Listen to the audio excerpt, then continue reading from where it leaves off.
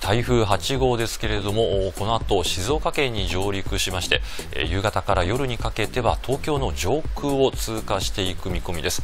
こちらまずいただいたリポートでして東京都大田区ですね、まあ、急に激しい雨が降ってきたという状況でしてアメダスの東京東京千代田区ですけれども1時間あたり10ミリぐらいの雨をすでに観測しております。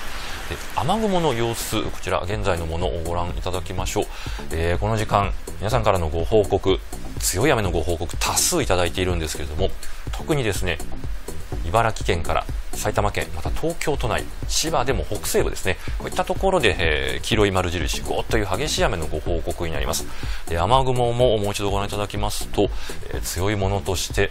そういったエリアにま分布している状況になります。で台風の中心が近づくにつれてさらに強い雨雲がかかってくる見込みです。雨雲の動き予想でご覧ください、えー、今日の午後ですけれども活発な雨雲が北東方向に動いてくる予想です、え、台風の中心夕方から夜にかけて東京の上空を通過していくんですけれどもこのタイミングをピークに1時間に50ミリ以上の非常に激しい雨が降る恐れがあります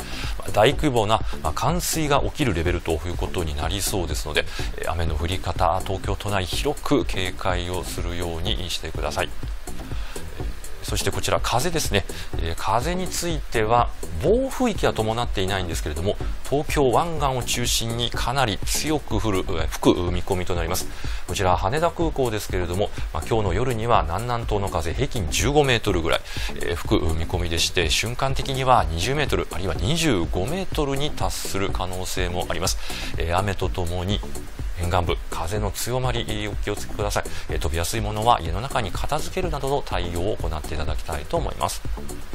えー、最新の台風情報についてはお天気アプリウェザーニュースでも随時ご確認いただけます。